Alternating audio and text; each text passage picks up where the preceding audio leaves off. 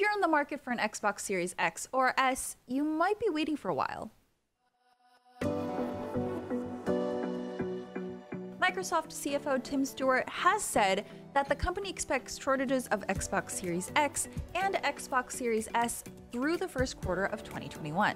Via investing site Seeking Alpha, Stuart was speaking at the Jefferies Interactive Entertainment Virtual Conference when he was asked about future resupplies of Microsoft's latest consoles after pre-orders sold out.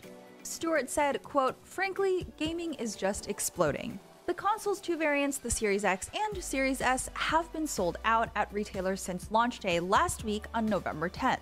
While retailers will be getting shipments of the consoles periodically, it looks like supply won't be able to meet demand for some time. Stuart's explained, quote, I think we'll continue to see supply shortages as we head into the post holiday quarter, so Microsoft's Q3, calendar Q1. That means the chance of you logging into a store's website or walking into a store's retail location and seeing an Xbox Series X or S might not happen until around April. It's been a great launch period so far with the Xbox Series X and S compared to the rocky start the Xbox One had back in 2013. If you recall, Microsoft touted some features of Xbox One that no one really cared about like hooking your cable box into it, and some that downright infuriated their fans. The Xbox One was initially announced to not support used games. You would install a game even from that disc, and it's tied to your account forever. Microsoft course corrected on many of these issues, but they gave a lot of ground to the PlayStation 4.